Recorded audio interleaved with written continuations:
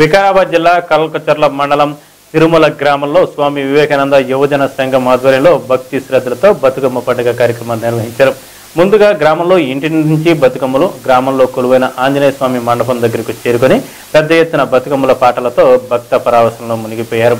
ఈ కార్యక్రమంలో గ్రామస్తులు గ్రామ పెద్దలు గ్రామ ప్రజలు యువజన సంఘాల నాయకులు తదితరులు ఈ కార్యక్రమంలో పాల్గొనడం జరిగింది.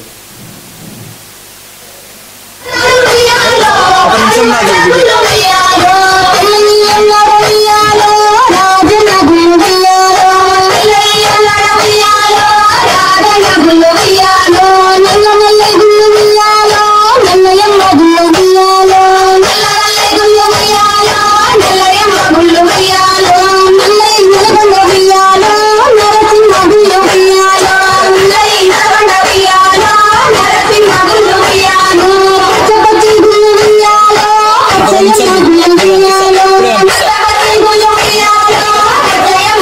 sayang,